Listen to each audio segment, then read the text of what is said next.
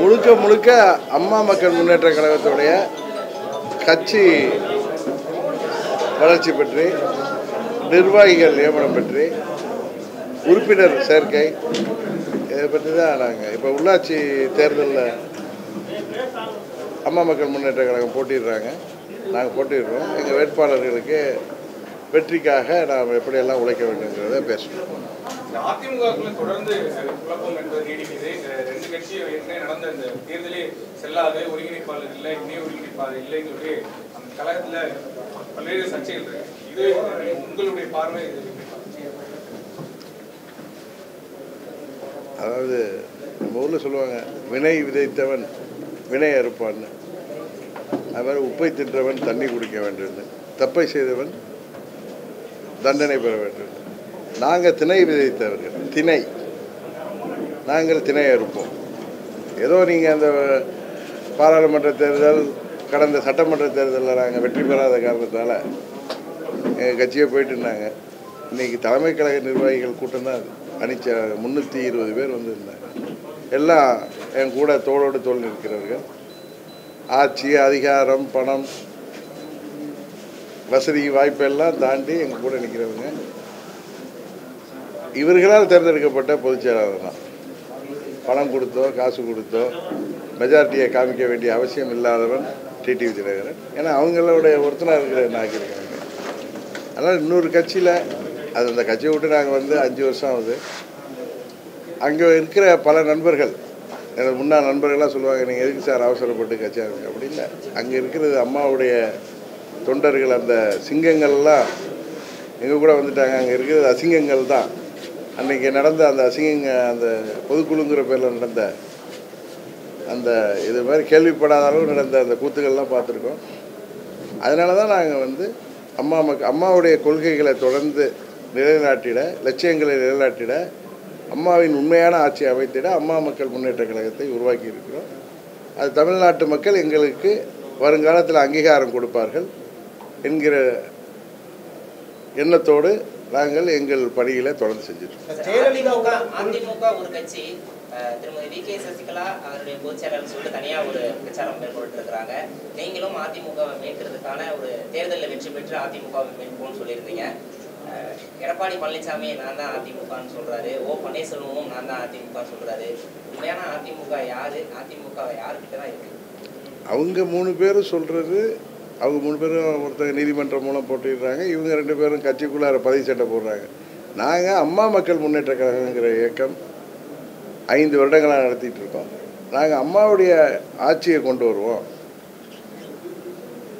அம்மாவுடைய கட்சியை மீட்டெடுப்போம்னு தான் சொல்கிறோம் அதனால் நாங்கள் இப்போ அந்த அந்த பதிவு சண்டையிலலாம் நாங்கள் போகல. நாங்கள் கட்சி எடுக்கிறதுக்கான நேரம் வந்துருச்சுன்னு நினைக்கிறீங்களா? சொல்லிட்டே இல்லை இல்லை அது சொல்லுங்க நாங்கள் தேர்தல் தான் உங்களுக்கு சொல்லியிருக்கேன். ஜனநாயக முறைப்படி திரும்ப திரும்ப நான் சொல்லிட்டு இருக்கேன். தேர்தலில் வெற்றி மூலம்தான் நாங்கள் அந்த இயக்கத்தை மீட்டெடுப்போம் சொல்லி மறுபடியும் தேர்தல்களில் நாங்கள் வெற்றி பெற்ற பிறகு தான் அந்த இயக்கத்தை மீட்டெடுக்க முடியுங்கிற நம்பிக்கை தான் எங்களுக்கு இருக்கே தவிர இதே மாதிரி இன்னொரு வீடு பத்தி எறிகிறப்ப அதில் போய் நெருப்பு கேட்குற வகையை சேர்ந்தவர்கள் நான் அன்றைக்கே சொன்னேன் உங்களுக்கு இது நாங்களாம் அம்மாவுடைய தொண்டர்கள். அந்த சிங்கத்தோடைய சிங்க குட்டிகள் நாங்கள் நாங்கள் நரி கூட்டத்தில் சேர விரும்ப மாட்டோம். சார் ஓபிஎஸ் அவர்கள்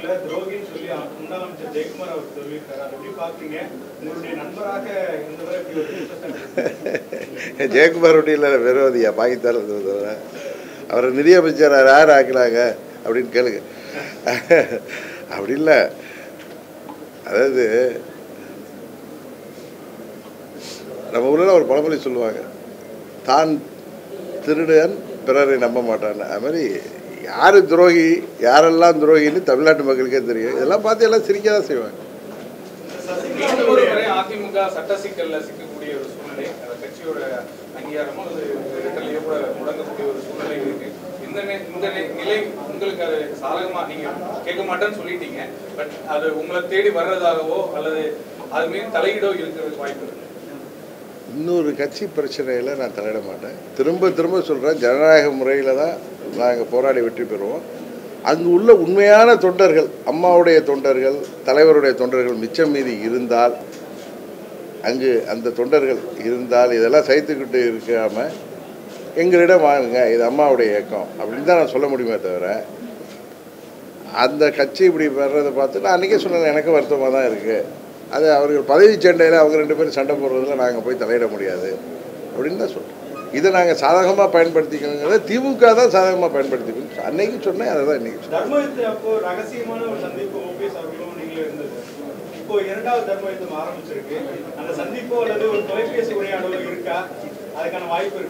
தர்ம யுத்தம் அவர் தொடங்கியதுக்கு பின்னாடி அப்போ ஜூலை மாதம் என்ன ரெண்டாயிரத்தி பேரில் சந்திச்சதுக்கப்புறம் எனக்கு அவருக்கு எந்தவித தொடர்பும் இல்லை. நான் அன்றைக்கி அவருடைய துணைவியார் மறைவுக்கு நட்பு காரணமாக தான் போயிட்டு வந்தேனே தவிர வேறு எங்களுக்குள்ள நான் தான் சொன்னேன் என்னுடைய பழைய நண்பர். அரசியல் ரீதியாக எங்களுக்குள்ளார எந்த தொடர்பும் இல்லை. இந்த பிரச்சனைக்கு அப்புறம் சந்திப்பு- இல்லை இல்லை நான் அப்படிலாம் இருந்தால் ஓப்பனாக சொல்லக்கூடியவன் நான் தான்.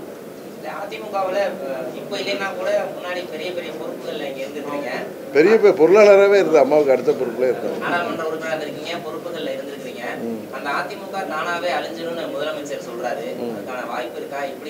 இல்லை அதான் நடந்துகிட்டு இருக்கு. நான் அது அது சொல்லி தானே அன்னைக்கு நயவஞ்சவர்கள் தவறாளர் கையில் அந்த கட்சியும் சின்னமும் இருக்குது அது கிளியராக பாமரருக்கு கூட புரிகிற மாதிரி எம்ஜிஆருடைய கட்சி இன்றைக்கு அவர் படத்தில் வில்லடா வர்ற பிஎஸ் வீரப்பா எம்என் நம்பையார் கையில் இருந்தால் எப்படி இருக்குமோ அது மாதிரி இருக்குன்னு சொன்னேன் ஒரே வரியில் சொன்னேன். அதுதான் இன்றைக்கு நீடிக்குது. இன்றைக்கு அங்கே அவங்களுக்குள்ள அந்த நாலு வருஷம் பதவியில் இருந்த வரைக்கும் சண்டை சச்சரவுலாம் காமிச்சிக்காமல் இருந்தாங்க. இப்போ ஆட்சி போனதுக்கப்புறம் மீண்டும் ஒத்தை தலைமை இரட்டை தலைமைன்னு போட்டி இருக்குது இது அவங்க பண்ணிக்கிற தவறு நம்ம என்ன பண்ண முடியும்? அவர்களுக்காக வருத்தம் தான் பட முடியும். மேடம் சசிகலா அவங்க வந்து அந்த கட்சியை காப்பாற்ற வேண்டிய பொறுப்பு இருக்கு. நான் மீட்டெடுப்பேன். வெற்றி பெறுவோம் அப்படின்னு அவங்க பேசுறாங்க. அவங்க முயற்சி வெற்றி பெறணும்னு நான் வாழ்த்துறேன். இறுதியில இந்த ரெட்டலையும் அந்த கட்சி அம்மா மக்கள் முன்னேற்ற கழகம் எங்களுடைய சின்னம் குக்கர் சின்னம். நாங்கள் வெற்றி பெறணும். அம்மாவுடைய ஆட்சி அமைக்கணும் அம்மாவுடைய உண்மையான ஆட்சி அமைக்கணும் அப்படிங்கிறதுக்காக இப்போது நாங்கள் வந்து மக்கள் மன்றத்தில் நாங்கள் வந்து இன்றைக்கு உழைத்து கொண்டிருக்கிறோம். அதனால் இன்னொரு கட்சி வீணாக போகுதுன்னு நான் வருத்தம் தான் பண்ண முடியும்.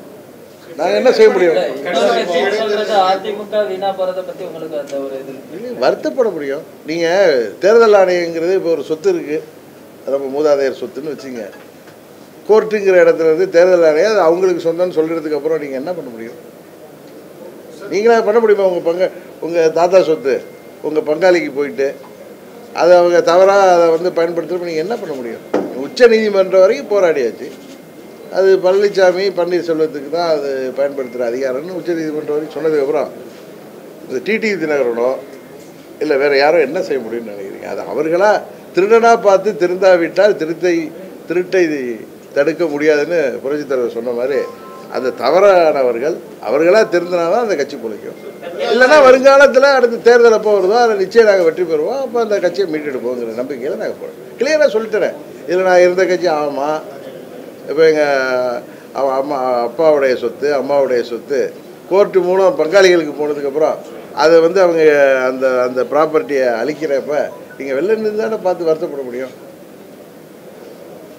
என்ன பண்ணுறது பெரும்பாலான பொதுக்குழு உறுப்பினர்கள் எடப்பாடி பழனிசாமிக்கு தான் ஆதரவுன்னு சொல்லிட்டாங்க. ஓ பன்னீர்செல்வம் தனித்து விடப்பட்டிருப்பதா சூழல் இருக்கு. அரசியல் ரீதியா இல்லாட்டினா கூட நட்பு ரீதியா டிடிவி தினகரன் அவருக்கு ஆதரவு. அன்னைக்கு இதான் கேட்டாங்க ஒரு இன்டர்வியூவில் நான் நட்பு ரீதியாக அவருக்கு நான் ஆதரவு காமிச்சா தினகரன் தான் அதெல்லாம் தூண்டி விடுறாருன்னு நீங்களே கேட்பீங்க உங்களை சொல்கிறார்களே அப்படின்னு இவரே வந்து விக்னேஷே கேட்பார் என்ன திரும்ப. எதுக்கு நம்ம எதுக்கு அவர்கள் நல்லா இருக்கணும். அந்த கட்சி நல்லா இருக்கணும்னு தான் நான் விருப்பப்படுறேன். நான் அதே மாதிரி என்ன உடையவன் தான். என்னை பற்றி பழகிறவங்களுக்கு தெரியும். அங்கே உள்ளவங்க நிறைய பேர் என்கிட்ட பேசிகிட்டு இருக்காங்கன்னா அன்றைக்கே சொல்கிறேன் நான் திருப்பி சொல்கிறேன் இதை காப்பாற்ற முடியாதான்னு கேட்குறாங்க நான் சொன்னேன் நான் கிருஷ்ண பரமாத்மா இல்லைங்க. தேர்தல் ஆணையம் சுப்ரீம் கோர்ட் வரைக்கும் அவங்க கையில் கொடுத்து தவறானவர்கள் கையில் கொடுத்துட்டாங்க. அவங்க பெரும்பான்மையை பார்த்து கொடுத்துட்டாங்க. பெரும்பான்மைங்கிறது நிர்வாகிகளுடைய பெரும்பான்மையை வச்சு அந்த கட்சி கிடையாது. புரட்சித் தலைவருடைய சட்டத்திட்டம் இன்றைக்கி அவருடைய உயிலுடைய காப்பி கூட ஒரு மூத்த பத்திரிகையாளர்கிட்ட நான் பேசினப்ப என்கிட்ட இல்லை அது கொடுத்தார். அவர் என்ன சொல்லியிருக்காருன்னா பொதுச் செயலாளர் அல்லது தலைமை பதவின்னு இருக்குல்ல இந்த ஒட்ட திறமையோ ரெட்ட திறமையோ அதெல்லாம் இல்லை. தலைமை பதவி தொண்டர்களால் தேர்ந்தெடுக்கப்பட வேண்டும்.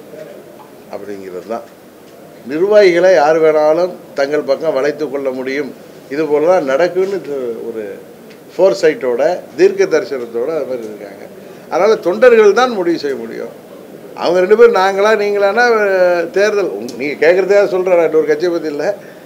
யார் தலைமைன்னு சொல்லி ரெண்டு பேரும் தேர்தல் வச்சு தேர்தல் ஆணையம் மூலம் தேர்தல் நடத்தி உண்மையான உறுப்பினர்கள் இருக்காங்களா அதெல்லாம் செக் பண்ணி இப்படி தேர்தல் நடத்துகிறோம் நம்ம. அதே மாதிரி தேர்தல் நடத்தி வெற்றி பெற்று வந்தாலும் உண்டு. இல்லைன்னா வேறு வழி இல்லை. அதான் நான் சொல்கிறேன் எனக்கு முன்னாள் நண்பர்னு சொல்லிட்டேன் அதுக்கப்புறம் பழைய நண்பர். சாரி பழைய நண்பர்னு சொல்லிட்டேன். தொடருதா தொடருதா பேசுனா ஆமாம் உங்கள் உங்கள்கிட்டே சொல்லுவேன். ஆமாம் நானும் ஒரு பேசு நம்ம எதுக்கு பேச வேண்டிய அவசியம் இல்லை. இப்போ அமமுக கட்சியை பொறுத்தவரையும் தென் மாவட்டங்கள்லயும் சரி டெல்டாலையும் ஓரளவுக்கு அந்த கட்சியில நிர்வாகம் நிர்வாகிகள் தொண்டர்கள் இருக்குது ஓரளவு, ஆனா ஆமா. வந்து இல்ல. ஓரளவு கூட இல்லைங்க. ஒரு கொஞ்சம் பேர் தாங்க இருக்காங்க. ரெண்டு எலெக்ஷன் தாண்டி இருக்கோம் கொங்கு பகுதிகளில் மற்ற பகுதிகள்ல வட மாவட்டங்கள்ல அமமுகவோட நிலை எப்படி இருக்குது?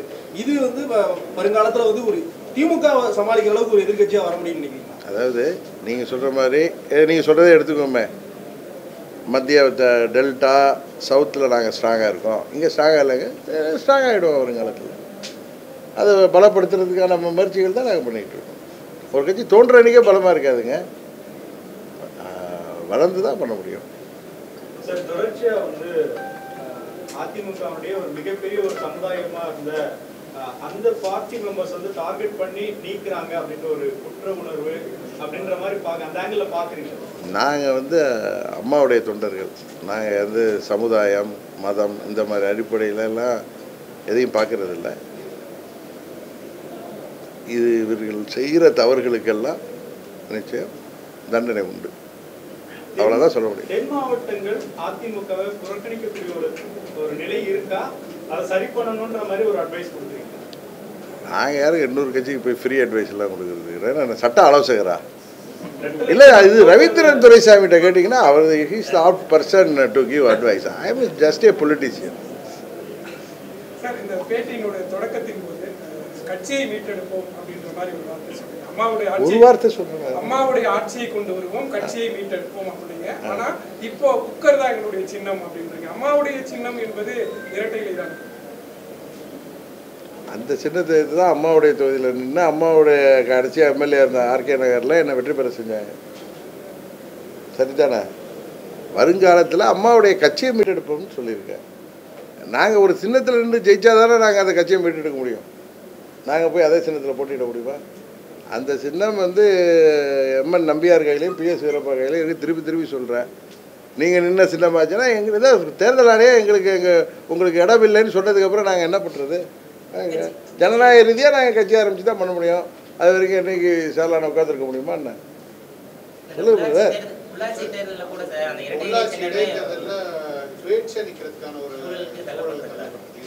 சரி, தலைவர் இருந்தப்போ அந்த சின்னம் முடக்கப்பட்டது.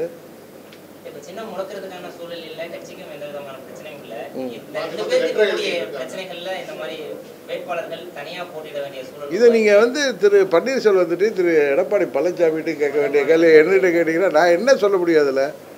இன்னொரு கட்சி பிரச்சனைங்க.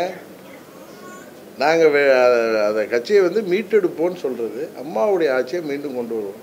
அப்போ நீங்கள் அண்ணா திமுக விட்டுருவீங்களான்னு கேட்குறீங்க அப்போ நாங்கள் மீட்டெடுப்போம் அது அப்போ என்ன ஃபார்மில் இருந்தாலும் அதை இப்போ அதிமுகவுடைய ஏன்னா ஆட்சி பொறுப்பு வந்துட்டுன்னா அவங்கெல்லாம் உங்களுக்கு தெரியும் இப்போ நீங்கள் எதனால் எடப்பாடி பின்னாடி அவ்வளோ மெஜாரிட்டி இப்போ நிர்வாகிகள் நிற்கிறாங்கன்னா அவங்க ஆட்டோமேட்டிக்காக வந்துடுவாங்க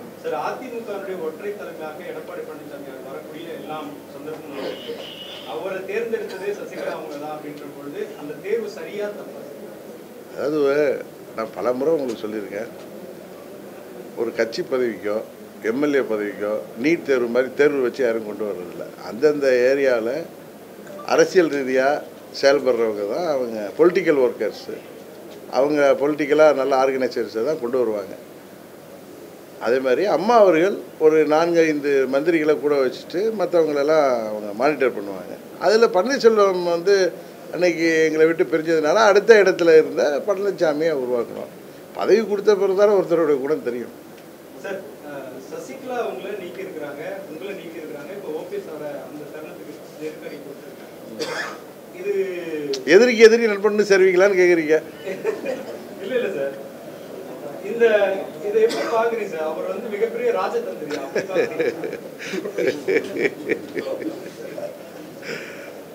ராஜதந்திரம்னா நேர்மையான முறையில் வியூகங்களை வகுத்து திட்டம் தீட்டி இன்னொரு நாட்டை ஆள்றது தான் ராஜதந்திரம்னு நான் பார்த்துருக்கேனே தவிர இதே மாதிரி சூழ்ச்சி செய்து நயவஞ்சகமாக காசை கொடுத்து ஒவ்வொரு நபரையும் வாங்கி இது ஐபிஎல் அன்றைக்கி அதான் நான் சொன்னேன்.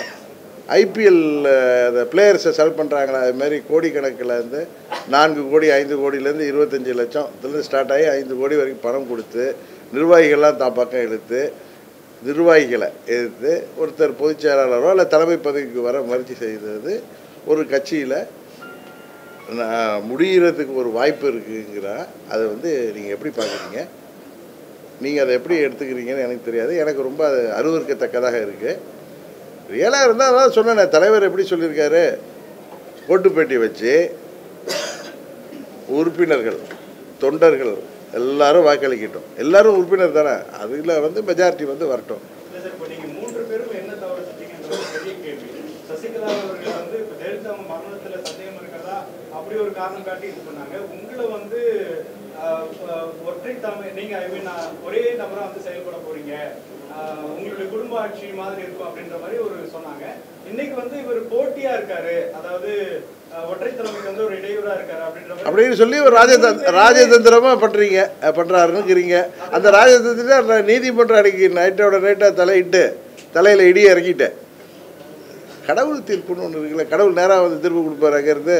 இது மாதிரி நீதிமன்றத்தில் போய் பன்னீர்செல்வம் வழக்கு தொடர்ந்தார். அவரால் பாதிக்கப்பட்ட பன்னீர்செல்வம். அதில் நீதிமன்றம் தலையிட்டு அதை இருபத்தி மூணு திரும்பங்களை தான் நக நகர்த்தணும் நிறைவேற்றணும்னு சொல்லிட்டாங்க. இப்போ பழனிசாமி எப்படியாவது பதவிக்கு வந்துடணும் அவருக்கு தான் மெஜாரிட்டி இருக்கலாங்க எதுக்கு இங்கே பணம் கொடுத்து காசு கொடுத்து நிர்வாகிகளை அவர் தக்க வச்சுக்கணும்? அதிமுகவுல இந்த அதிமுகவுல நடக்கிற பிரச்சனைகள்ல பாஜகவுடைய தலையீடு இருக்குன்னு ஒரு சிலர் சொல்றாங்க. அதை நீங்க ஏத்துக்கிறீங்களா நம்புறீங்களா வாய்ப்பு இருக்கா? நீங்கள் பத்திரிகையாளர்கிட்ட சொல்லுங்கள் நான் யாருங்க? நான் எனக்கு என்ன தெரியும்? நீங்கள் சொன்னாலும் நான் இன்னொரு கட்சியில் இருக்கலாம் இல்லாமல் இருக்கலாம் எனக்கு தெரியவில்லை. அவ்வளோதான் சொல்கிறேன் ஏன்னா ஆத்தென்டிசிட்டியாக இருந்தால் நான் எதாவுமே சொல்லுவேன். ஆமாம் அப்படின்னு சொல்லுவேன்.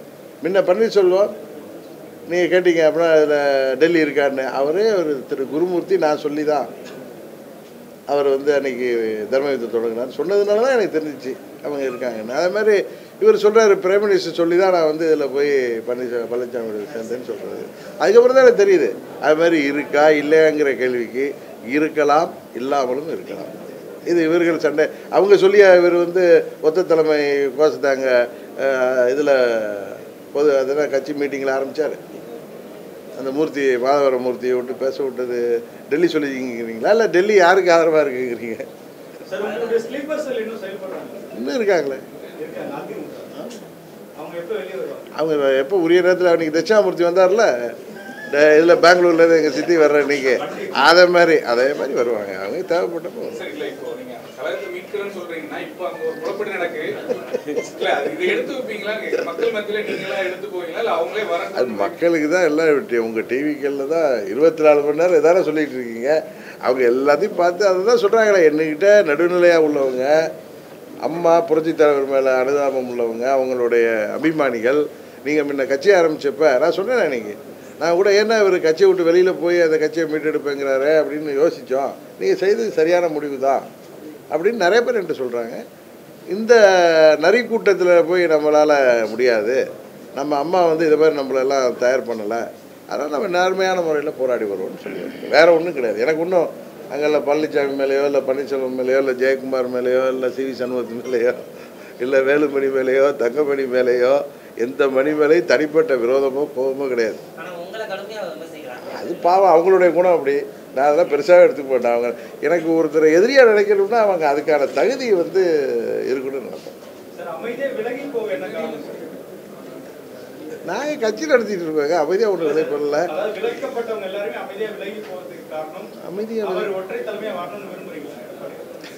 அது அந்த தொண்டர்கள் விரும்பினா வந்துட்டு போட்டுவேன் எல்லாம் விலைக்கு போகலங்க. அஞ்சு வருஷமா அவங்களை எதிர்த்து தானே போராடிட்டு இருக்கோம். என்ன கேட்குறாரு பிரதர்னு தெரியல. சார் ஒருங்கிணைந்த அதிமுக தான் வந்து திமுக வந்து எதிர்கொள்ள முடியும். இதுதான் கடந்த காலத்துல நமக்கு தெரிஞ்ச விஷயம். ஆனா இப்போ தொடர்ச்சியா ஒரு அஞ்சு வருஷமா அதிமுக வந்து ரெண்டா பிரிஞ்சிருக்குது. வரிசையா எல்லா தேர்தல்லையும் வந்து திமுக ஈஸியா ஜெயிக்கிறதுக்கு ஒரு வாய்ப்பு இருக்கு இது எப்ப சார் முடியும்? இதுக்கு ஒரு தீர்வு இல்லையா? காலம் பதில் சொல்லும் தமிழ்நாட்டு மக்கள் அதுக்கு பதில் சொல்லும் ஏன் வந்து அதே மாதிரி தான் சரித்திரம் வந்து திரும்பிட்டே இருக்கணும்னு அவசியம் இல்லை அம்மா மக்கள் முன்னேற்ற கழகம். ஆதரவு மக்கள் ஆதரவோட ஆட்சிக்கு வரலாமே. திமுகவுக்கு எதிரான அணியாக நாங்கள் இப்போ ஏற்கனவே போராடிட்டு இருக்கோம். இப்போ அதில் நாங்கள் இப்போ கூட இந்த தேர்தலில் நாங்கள் தானே போட்டி போடுறோம். அவங்கெல்லாம் போட்டி போடுறதாவே தெரியலையே அவங்க. போட்டி போட்டாலும் சுயேட்சையில் போட்டி போடுறாங்க போல. வளருவோம். அந்த நம்பிக்கையில் தான் நாங்கள் வர்றோம். இன்னைக்கு கூட குன்னம் ராமச்சந்திரன் ஒரு பேட்டி கொடுத்திருந்தாரு. அமமுகவும் அதிமுகவும் சேர்ந்து இருந்தா ஆட்சியை பிடிச்சிருப்போம். ரெண்டாயிரம் மூவாயிரம் ஓட்டுல தான் தோக்க வேண்டிய சூழல் உருவாச்சு. அதுக்கான ஒரு சூழலையும் கடந்த இதெல்லாம் கொண்டு வந்தாங்க. அது திரும்பவும் நடக்கக்கூடாதுன்றாரு. என்ன நடக்கக்கூடாதுங்கிறாரு நான் வந்து பல முறை சொல்லிட்டேன். என்னால் திமுக ஆட்சிக்கு வர அது காரணமாக இருக்க மாட்டேன். அதுக்காக நான் எந்த தியாகமும் செய்வேன்னு சொல்லி பொதுக்குழுவில் பேசினேன். அதுக்கு காதில் விழுவ வேண்டியவங்க காதில் விழுவலைன்னா நான் என்ன பண்ணுறது இப்போ கேட்டிங்களா அந்த கட்சியை பற்றி கேட்டிங்களா கேட்டிங்களா அதுக்கு பதில் அதான். புரியுதா? அது வந்து போன தேர்தலில் போய் அது எல்லாருக்கும் தெரியும். உங்களுக்கும் தெரியும் எல்லாருக்கும் தெரியும். சார் தேசிய அளவுல அமமுகவோட பார்வை என்ன சார்? தேசிய அளவுல அமமுகவோட பார்வை என்ன? காங்கிரஸ் பக்கமா இல்ல பாஜக பக்கமா? இல்ல கம்யூனிஸ்ட் பார்ட்டிகள் இருக்குது. ஏன்னா வந்து நாட்டுல வந்து இப்போ நிறைய மத பிரச்சனைலாம் வந்துட்டு இருக்கு. இன்னொன்று ஒரு இப்போ ஒரு பொருளையை கிளப்பி விடுறாங்க. இவர் வந்து மத்திய அரசாங்கத்துக்கு எதிர்ப்பாக பேசுறது இல்ல நான் எப்பயுமே இப்போ இங்கே இருக்கிற திரு ஸ்டாலின் அரசாங்கம் இருந்தாலும் அவங்க தவறு செய்தால் தான் தவறுன்னு சொல்ல முடியுமே தவிர நான் அதே மாதிரி வகை அரசியல்வாதி கிடையாது. ஒரு திட்டம் சரியாக இருந்தால் சரியாக இருக்குன்னு சொல்லுவேன். இப்பயும் சொல்கிறேன் மத்தியில் ரெண்டாயிரத்தி இருபத்தி நாலு தேர்தலுக்கு முன்பு ரெண்டாயிரத்தி இருபத்தி மூணு நவம்பர் டிசம்பரில் அம்மா மக்கள் முன்னேற்ற கழகம் சரியான நிலைப்பாட்டை எடுப்போம். யாருக்கு எங்கள் ஆதரவுங்கிறத தெரிவிப்போம். ஏன்னா நாங்கள் ரீஜனல் பார்ட்டி தான்.